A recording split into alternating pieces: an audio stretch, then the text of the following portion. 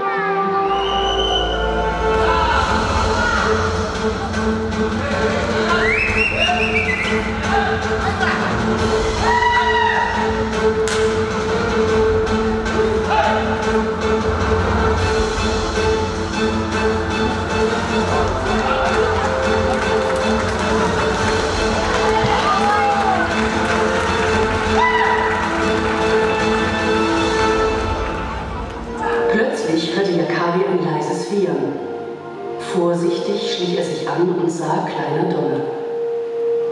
Das Pony hatte sich in einer Felsspalte eingeklemmt und konnte sich nicht mehr selber befreien. Vorsichtig näherte sich Jakabi und befreite das Tier.